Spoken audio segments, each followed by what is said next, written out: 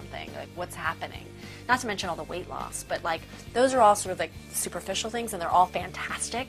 But um, I mean, I loved that I lost weight. I loved that I felt had so much more energy, and I loved. But the biggest, most impressive thing to me was that I just felt like I was walking around the world a little lighter. Really, when I'm talking about this vibrancy and I'm talking about how amazing you'll feel, those are the sort of everyday feelings that you might want to shift because I'm assuming you're not ill.